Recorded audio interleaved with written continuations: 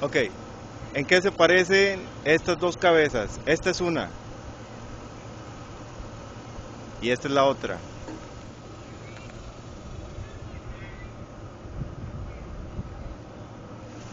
¿Se parece?